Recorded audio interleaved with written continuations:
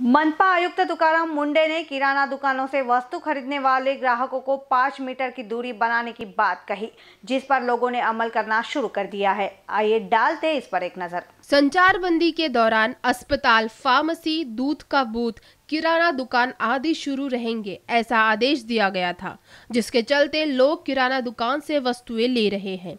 ऐसे में दुकानों में भीड़ बढ़ जाने के कारण और कोरोना वायरस के बढ़ते प्रकोप को देखते हुए तकरीबन पाँच फीट का अंतर रखने की अपील मनपा आयुक्त तुकाराम मुंडे ने की है।